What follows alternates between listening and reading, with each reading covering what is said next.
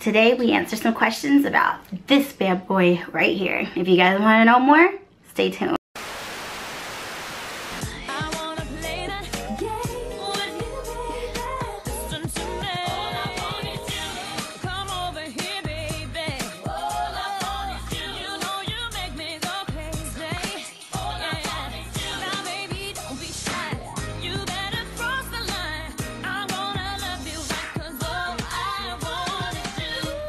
Hey Brats and welcome back to my channel. For those of you who are new, make sure you guys hit that subscribe button and also hit that little bell ringer so every time I upload a video, you can be notified and become a part of the Brat family. Today is going to be an informative video, hopefully if I do this correctly. Um, kind of a continuation if you will, if that's what you want to call it, because I have I've literally done like two videos on this watch before, but I did not at the time realize that it was going to be as big as it was and um, I didn't answer few questions that a lot of people have been asking about and for some reason it's like people are just now discovering it. So that'd be cool for me to come back on here and do this video because a lot of people have been requesting um, for me to do like an update on this Michael Kors smartwatch and just like a little bit more questions especially when it comes to the Android usage of it or the iOS usage of it. So I thought it would be perfect to come on here and do that especially now that you guys know that I own both. I have an Android, the LG Aristo and I honestly got this just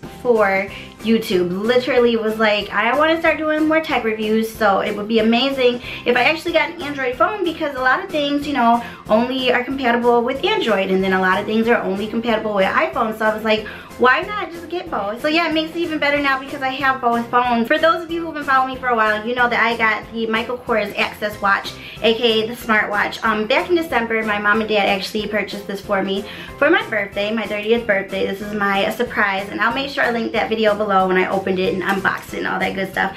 But they did get it for me in the rose gold, and it was purchased from Best Buy. You can also purchase this from Macy's. So this is what it looks like right here. That's the little face going down right now. That's the one I have it on right now. And also that's what it looks like when it goes back to sleep because I don't have it um, on for too long. I don't want to waste the battery. But I'll go more into that um, in a little bit. But this is the watch. And on the side you can see that it's got the MK. It looks like a dial but it doesn't actually spin or anything like that. The only usage for it is when you push down on it. This is basically what your power button is. So you press on this when you're ready to turn off your watch, turn it back on, um, certain things like that, operation. So that's what that's used for. But again, it's not really a dial. You can't really turn it.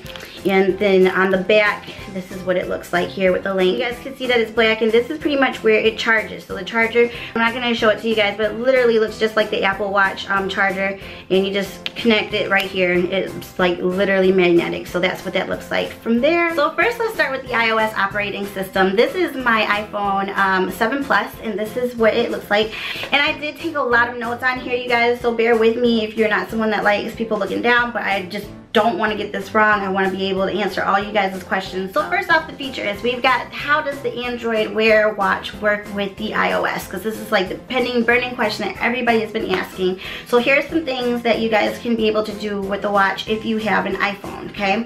First and foremost, um, the highest iPhone that it goes up to, if you have anything lower than an iPhone 4, this is definitely not going to be compatible for you. It goes up to iPhone 4, I believe, and all the way up to the iPhone 7 Plus, the newest ones. But if you have anything lower than that, like the iPhone, I believe, like, I don't know, just the original iPhone, things like that, you're not going to be able to use this. So we can just completely just get that out of everybody's mind right now because um, it's only operational for the newer type of iPhones and iOS system. So um, here's some things you guys can do, okay? So you can get notifications if you do have an iPhone and you are thinking about getting this watch, okay?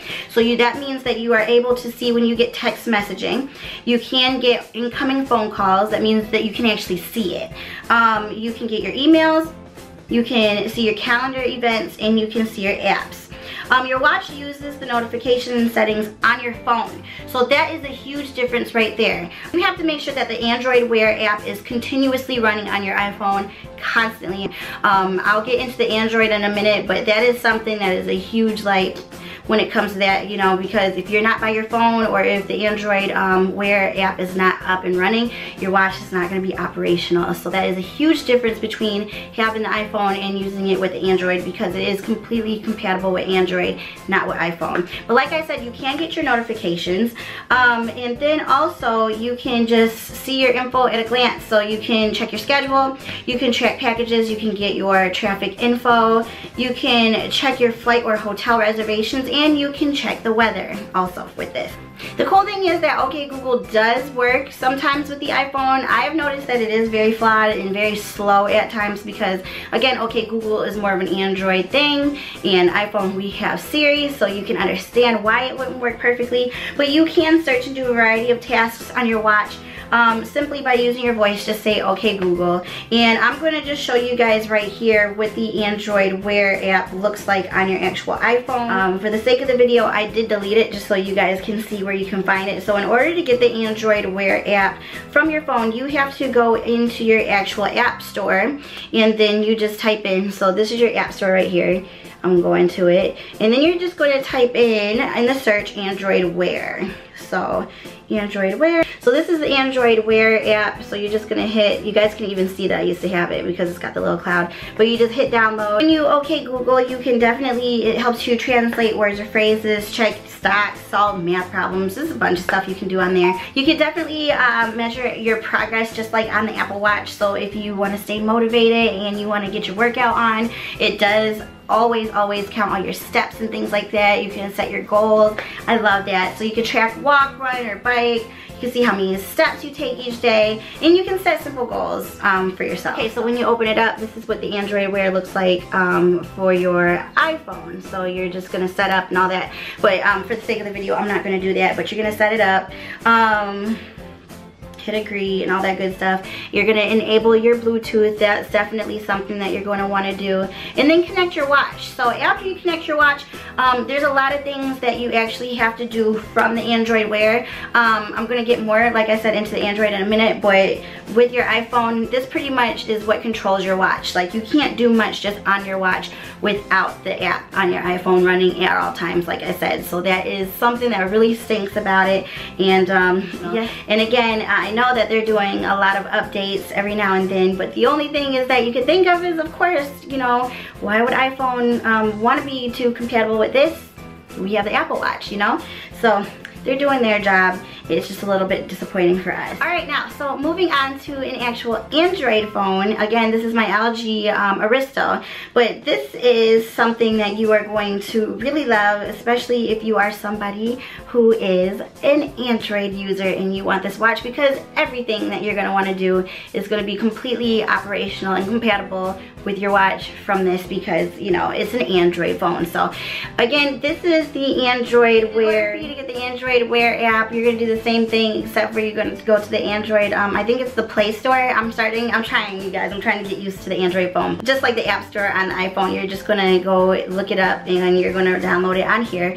So this is Again, the Android Wear, so you're going to press that. Mine's already set up and everything with my watch so you guys can see, what it looks like it has my exact model, my exact color. These are all the watch faces that I can change it to, and you can always add more. These are my apps, and again, I can download more apps and everything from here and it'll go directly to my watch so that's really cool so anyways all right so let's get into what you can do from an android phone if you own this watch there's a lot more than what you can do with an iphone so again you can get all your notifications. You can see notifications incoming phone calls your texts your emails your calendar events your apps okay? Your watch uses the notification settings on your phone and if you have notifications set up you'll be able to read and you can reply to messages from this when you have an android phone. So that is the cool part. You're gonna be able to not only see your notifications, but you can reply if you have an Android phone. Um, you can also see info at a glance again, just like you can do um, with the iOS system. The information you need will conveniently appear as cards on your watch from Google Now. You can scroll through the cards, see more details, and dismiss cards when you're done. So you'll be able again to check your schedule, track packages, get traffic info, um, pretty much everything. And you can also ask it questions um, using using OK Google. I have noticed you guys that my battery works way smoother with the um, Android phone than it does with iOS. I don't know what it is, if it's the constant need for the app to be running on your iPhone all the time. I don't know. I don't know if it has anything to do with that, but my watch doesn't die as quickly with my Android phone connected to it than it does with the iOS. You guys guess it's just as good as mine. I really don't know the answer to why that is, or maybe that's just something that I'm noticing. I don't know, but that's just what I'm getting from it. Um, you can ask questions, do everyday tasks. Again, OK Google. OK Google works way better with the Android than it does with the iOS. It's smoother, it's faster. Um, she understands me a little bit better. So again, you can translate words, phrases, check your stats, solve math problems, convert between units, find a place of business, and also you can do your, like your traveling stuff. You can get turn-by-turn -turn navigation which is really nice because you can't do that with iOS. So you can um, find a place of business, find business info, check your flight or hotel reservations. And again, you can follow your fitness just like you can with iOS. You're able to track your steps and all that stuff. So that works with both. But, um, you know, again, it's just a little bit more accurate with the Android because it's meant to be Android. Um, and on here you can listen to your music. So you can control and start and stop music from podcasts. You can listen to your music on your watch without your phone. So if you guys notice everything that I'm saying right now with Android, you don't need your phone that much at all. Like literally, um, the biggest flaw with the iOS operational system with this watch is the fact that you always constantly have to have that app running on your phone in the background because it's not going to work if you don't have it running. But with the Android phone, you can legit walk away from it. You don't have to have the app running. Like for some reason it turns itself off or it shuts down, your watch is still going to work. Like you don't rely on the actual app being up and running as much on the Android phone as you do on iOS. Um, another thing that I also found that is a difference, a huge difference, is that if you are someone like a family, like a little family, if you guys have different watches, um, like for example, if I have someone else in the house that has a Michael Kors watch, you can all hook it up on the Android Wear app. So you can have more than one watch hooked up to it at a time. Um, with the iOS system, you can't do that. You only have one smartwatch hooked up to the iOS system at a time on your app. So um, that's pretty much the biggest difference. I know that my number one question was like if you can make calls and whatnot um, using your iPhone. The answer is no to that.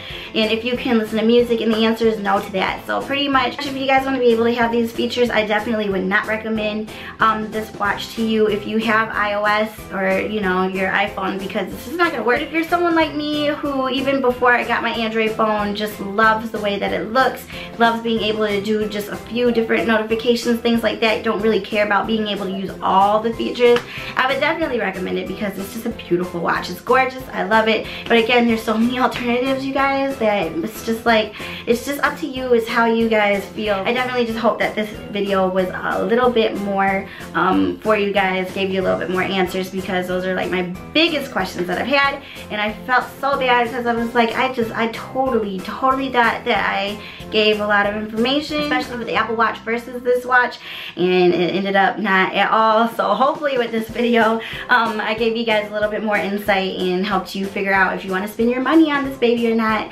Um, I hope that you guys enjoyed this video. If you did make sure that you give me a thumbs up. I'm definitely going to be doing a lot more tech reviews for you guys in the near future um, starting with this boy right here, I'm going to be doing a full review on the LG Aristo and what I have on it. So I'm excited to share this with you guys. And it's nice to have an Android phone. Um, I just, you know, I love them both, but Apple's always gonna be in my heart. Seriously, this is my baby. This is my baby right here. So be on the lookout for this, you guys. I love you guys very much, and I will talk to you later. Make sure you guys subscribe. Make sure you comment on this video if you have any more questions, and make sure you join the Brat family. So until next time, I love you guys.